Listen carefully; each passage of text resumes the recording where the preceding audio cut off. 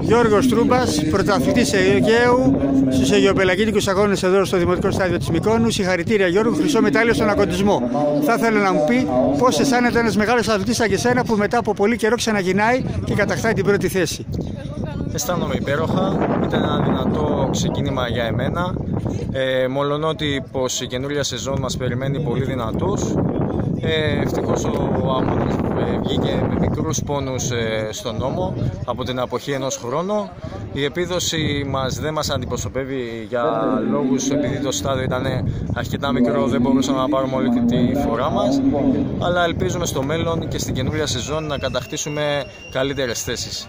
Η επίδοση που σημειώθηκε εδώ είναι μέσα στην οκτάδα στο Πανελλήνιο Πρωτάθλημα, οπότε καταλαβαίνετε ότι τα επίπεδα είναι ακόμα υψηλά και ελπίζουμε για μεγαλύτερες ε, διακρίσεις ε, ε, στην καινούργια σεζόν. Γιώργο, σε ποιους ανθρώπους θα θέλεις να αφιερώσεις την επανεμφάνισή σου, θα έλεγα τη χρυσή επανεμφάνισή σου; Στον προπονητή μου, στην οικογένειά μου, σε αυτούς που είναι δίπλα μου και με στηρίζουν όλο αυτό το διάστημα.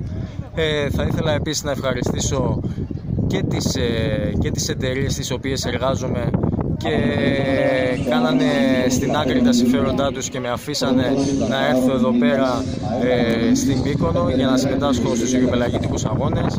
Αυτός είναι ο Βασίλης Μακρής με την εταιρεία Κούκος ε, και η κυρία Μέρη Καραγιάννη με το ξενοδοχείο, με την αλυσίδα ε, ξενοδοχείων Κάκτους και Ακουάριου. Θα ήθελα να τους ευχαριστήσω από εδώ, μιας και μου δίνεται η ευκαιρία.